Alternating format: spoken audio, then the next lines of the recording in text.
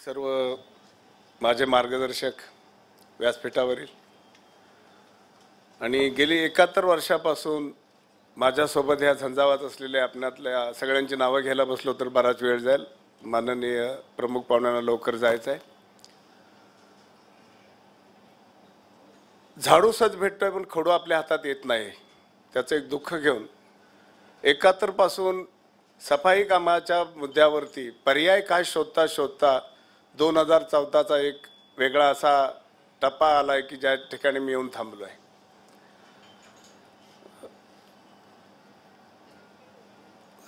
आज सगळीकडे स्वच्छतेचं जे वारा आहे त्याच्याकडे मी स्वागतासाठी अशानं बघतो की आता या ठिकाणी जे पुरस्कार घ्यायला सफाई कामगार येणार आहेत त्याच्यामधील एक सफाई कामगार आहे भगवान जाधव की एका गल्लीत झाडू मारताना एका कारखान्यातली बादली भरलेलं ॲसिड त्याच्या पाठीवर फेकलं.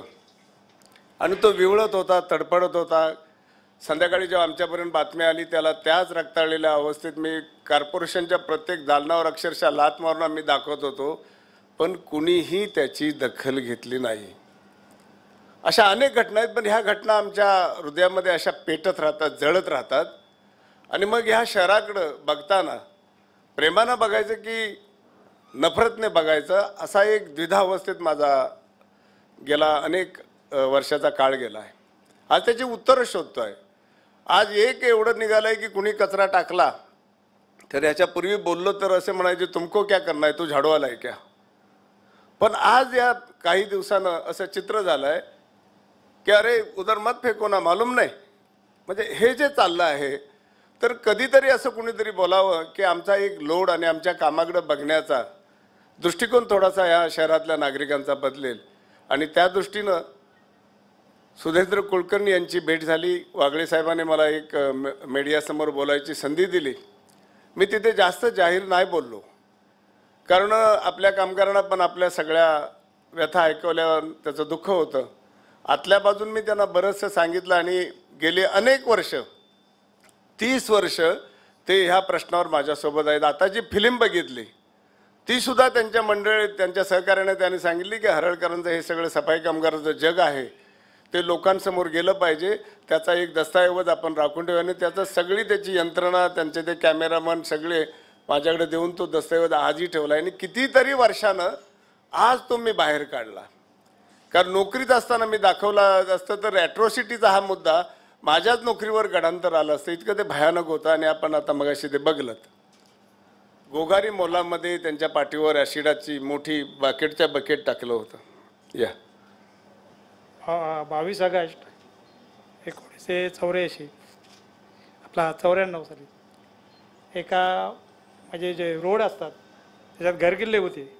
त्या घरगिल्लीमध्ये मी साफसफाईसाठी झाडू मारायला जेव्हा जेव्हा गेलो वरून ते नकली दागिने ब्या ब्या हे हे करायचे ना त्याचं ॲसिडचं पाणी राहिलेलं रात्रीचं. पण जास्त ॲसिडच होतं. हिरव्या रंगाचं. आणि मी आपलं काम करत होतो असं पावडे झाडू मारलं आणि पावड्याने कचरा बाहेर असं ओढत होतो पाठीवर त्याच्यानंतर एवढं वरून असं टाकलं की एखाद्या आपल्या गावच्या जनावराला जी जशी गोळी घालतात अशा पद्धतीत झालं आणि मी तसा एकदम तडपडत तडपत बाहेर आलो. काय?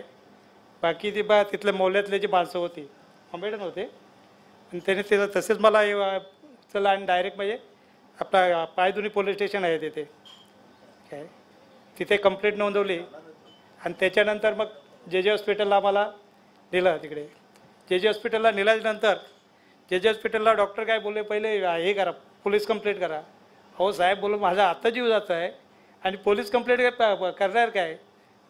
म्हणजे माणसाला ज्यावेळेला बा चकमा होतात नाही ते काही विजा होतात त्यावेळेला जर बा माणसाचा जीव जात असताना जर तुम्ही वाचवू शकत नाहीत तर मग काय माणूस मेल्याच्यानंतर त्याला उपचार काय करणार तुम्ही? असं डॉक्टरनं झालं नाही नाही ते पहिलं तुम्ही आधी तिकडे एन सी करा. काय? आणि त्याच्यानंतर मग काय असेल ते आम्ही बघू. हां. आणि असं करत असताना शेवटी ते बा हे केलं. नंतर मग एक तासाने मला बोलले की काय नळाखाली जाऊन तिथे तुम्ही बसा म्हणून. तर जप्प आहेत माझ्या इथे. पाठीवर पण आहेत पण इथं आत्ता दाखवताना हे बघा साहेब. आणि इथे पाठीवर पण आहे त्याचे पूर्ण. काय. तर चोवीस तास मी जे जे हॉस्पिटल एमर्जन्सीमध्ये होतो चोवीस तास. काय? ते त्याच्यानंतर जास्त म्हणजे मला उपचार चालूच होता जे जे हॉस्पिटलला. काय येणं जाणं असं. आणि नुकसान भरपाईचा मुद्दा काय मला काय भेटला नाही. फक्त येल रजा म्हणून. पावणे दोन महिन्याची मला भेटली. काय? आणि त्याच्यानंतर मी बोललो मला हलकं काम द्या लाइट काम द्या. त्यावेळा वार्ड ऑफिसर गांधी साहेब होते. गांधी साहेब म्हणाले की लाइट काम म्हणजे काय? मला काय समजत नाही. हो बोलो साहेब लाइट काम म्हणजे मला साधंचं काम जे झेपल काय आतमध्ये स्टोअरला म्हणा काय ते काय अशा अशा ठिकाणी ठेवा. तर आता सध्या काय ते तिथे जागा खाली नाही आहे तेव्हा आहेत तिथेच तुम्ही काम करा. अशा पद्धतीत चाललं. फक्त पावणे दोन महिन्याची येल रजा माझी जी होती तेवढीच मला मिळाली. बाकी काय नुकसान भरपाई मला भेटलेली नाही. बस. एवढे बोलून आपले वागळे साहेबांचे मी आभार मानतो. धन्यवाद साहेब. आमच्या भगवान जाधवांचं एक शाल आणि एक मानपत्र देऊन वागळेसाहेबांच्या हस्ते आम्ही पुरस्कार करू इच्छितो. त्यांची इच्छा अशी आहे की वागळेसाहेबांनी माझा सत्कार करावा.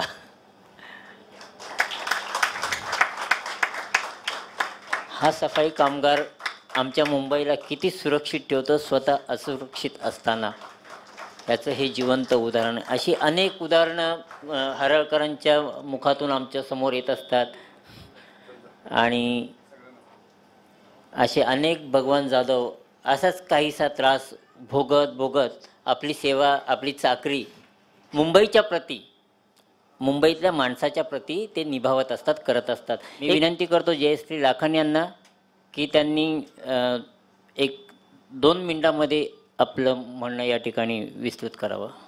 प्लीज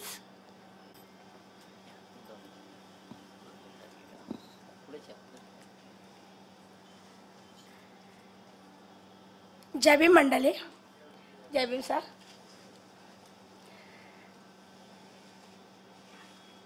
विश्ववंदनीय तथागत भगवान गौतम बुद्ध आधुनिक भारताचे शिल्पकार परमपूज्य डॉक्टर बाबासाहेब आंबेडकर क्रांतीवीर महात्मा ज्योतिराव फुले क्रांतीज्योती स्त्रियांच्या शिक्षिका माता सावित्रीमाई फुले संत कबीर या महामानवाला प्रथम वंदन करून आजच्या या सफाई कामगार परिषदेमध्ये मला इथे दोन शब्द बोलण्याची जी संधी मिळाली आहे.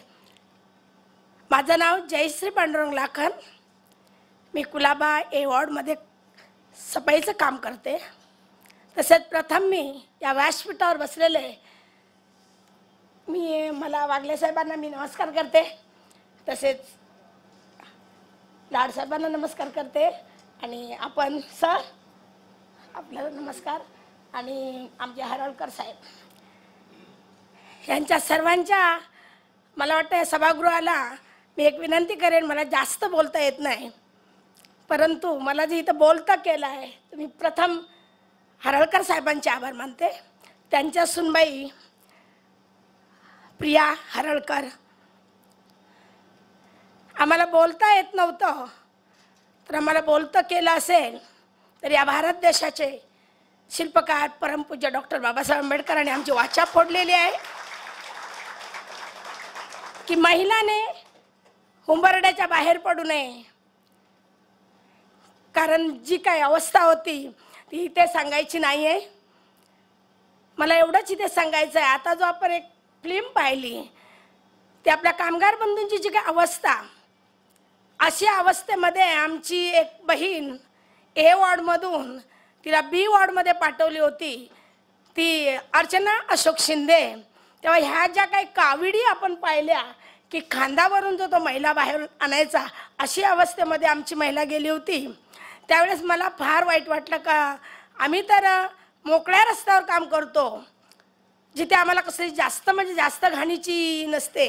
परंतु आमची बहीण जेव्हा तिथे गेली तेव्हा मी विहाराजवळ समोर उभे राहून मी म्हणतो हे भगवान बुद्धा माझी बहीण त्या वॉर्डमध्ये गेली आहे ती आमच्या ए वॉर्डमध्ये येऊ दे. कारण ए वॉर्ड हे भल्या मोठ्या मोठ्या लोकांचं म्हणजे श्रीमंत लोकांचं वॉर्ड आहे. तिथे कचरा जो आहे त्याची अवस्था वेगळी आहे पण इतर वॉर्डमध्ये जी काही अवस्था आता आपण पाहिलात तर ही लोकांना वाचवून स्वतःचं जीवन संपवायचं अशी अवस्था आहे मला तर वाटतं. आणि इथे दोन शब्द बोलण्याची संधी दिली मी प्रथम आभार मानते. मॅडम आपलं नाव नाही घेतलं. काल मला नायर हॉस्पिटलमधून तिथे जो काही कार्यक्रम झाला सावित्रीमाई फुले संशोधन केंद्रामध्ये तिथे मला दोन शब्द बोलण्याची संधी दिली होती. तिथे देखील असे आमचे पण तिथे वेगळी लोक मला वाटत होती म्हणून आज आमच्या कामगार इथे उपस्थित जास्तच आहेत. आणखी काही अधिकारी असतील माझे दोन शब्द सांभाळून घ्यायचे आहेत. मी यो वॉर्डमध्ये काम करताना वॉर्ड असं आहे की जो ताज हॉटेल तिथे आहे ज्याला पेशंट हॉटेल बोलतात त्याच्यात तिथे माझा बाजूला रस्ता आहे. रस्ता भयंकर मोठा आहे. आणि तो आठशे नऊशे मीटर रस्ता मला वाटतं माझी पिढी म्हणजे आम्ही चार पिढीने माझी जी सासूबाई होती ती त्या वॉर्डमध्ये काम करत असताना मला सांगायची का आम्ही चार ते पाच टोपल्या कचरा भरून बाहेर आणतो ना आमचं काम संपतं.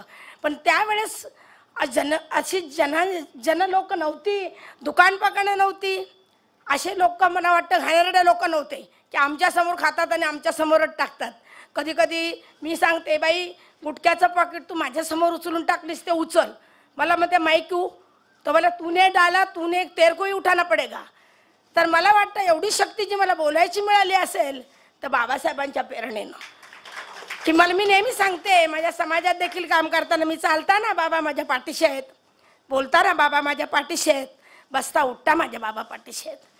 कारण बाबांनी जो आज स्त्रियांसाठी आणि प्रथम आभार मानू तर आम्ही सावित्रीबाईंचे. की सावित्रीबाईंचा जन्म झाल्यानंतर तर अशी स्त्री बोलू लागली नसती.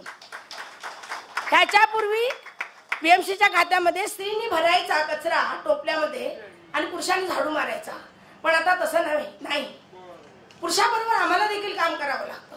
तो म्हणतो "अहो, ताई मी एकटा रस्ता एवढा कसा मारू? तर आता काही बोलता येत नाही. पाठून आमचे अधिकारी पण येतात बाई. अगदी अगदी प्रेमाने सांगतात बाई तुम्ही थोडी त्याला मदत करा. मग शेवटी काय करतो तो एक झावळीचा प्रकार असतो. सर इथून रस्ता रुंद असतो तेवढा. तर तिथून तो असा घ्यायचा आणि पाठी मागून पायी बाईनी झाडत भरत जायचं.